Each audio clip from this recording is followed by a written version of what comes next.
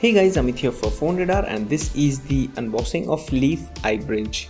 I had earlier shown a USB OTG drive for iPhones which was from Adam Elements. You can check out the link that would be shown up somewhere around here. But if you want something which also supports a micro SD card and which connects to your Apple devices, then this is something for you. This is called as iBridge and this is a mobile memory which is available in different options like this is in 16GB, we have a 2GB one also available this is from an international store Mobile Fun. You can check out the link in the description to know more about the same but again it's also available in india. But again that said when you do a price comparison the indian one is selling at 5000 rupees onwards for this unit while on Mobile Fun you get it at a better price. Let's open up the package and uh, show you what all comes within the same and how this works in actual.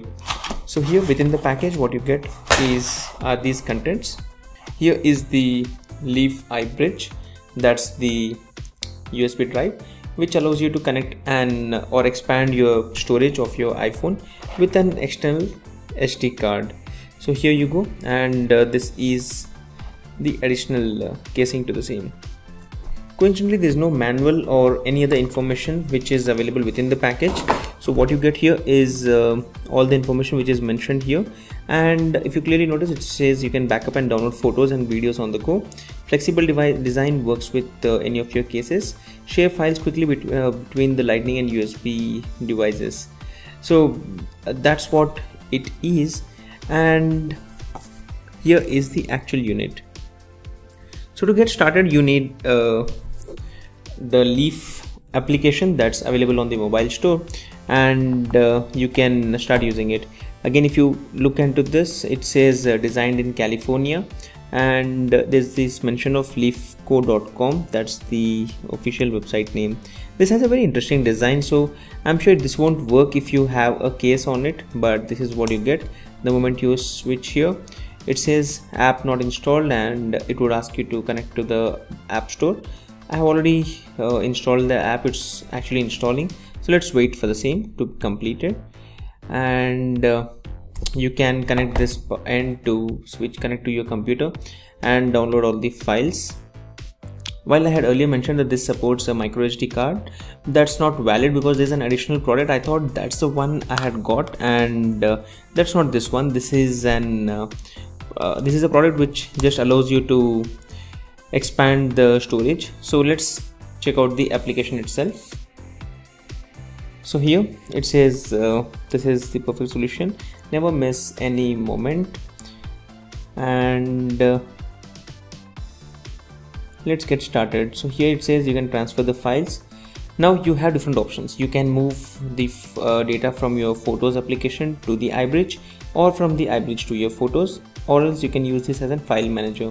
So let's try this option. And here under camera roll it would uh, select the photos and send it. So let's say I have this time lapse. I would like to send it to the uh, iBridge. It says copy to iBridge or move to iBridge. Uh, generally I don't really find uh, any products uh, from Apple which allow you to move uh, move the files. They all allow you to transfer or copy the content. So that's what is one of those options. So let's go to the settings and uh, check out few of the options here so let's select show hidden files. So this is the application which gives you all the options. Show album covers when in landscape. Let's select the grid mode storage information. So out of the box you get the 16 GB storage out of which uh, the capacity is available capacities of 14.92 and uh, we have used nothing. While on the iphone this is the current storage. Leef capacity limit is maximum of uh, 2 GB which is probably for one file I guess. Capacity limit and uh, limit app storage usage. So we can also set it here. If you would like to set an limit for specific files. So that's about the product itself. Let's we also have option of uh, photo backup and uh, contacts backup and you can restore it. So that's very interesting. If you're switching to a new device you can do that right away. Now here's another application which is option wherein the moment you capture a photo it would actually transfer directly to the iBridge which is a very interesting option because that way you don't have to worry about the storage issues on your iPhones.